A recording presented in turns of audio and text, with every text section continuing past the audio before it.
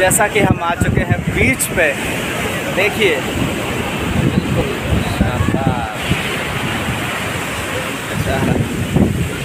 बीच ये बीच जयपुरी का बीच है। और समुद्र की लहरें तो भाई पाट फोड़ रही हैं यार यहाँ पे।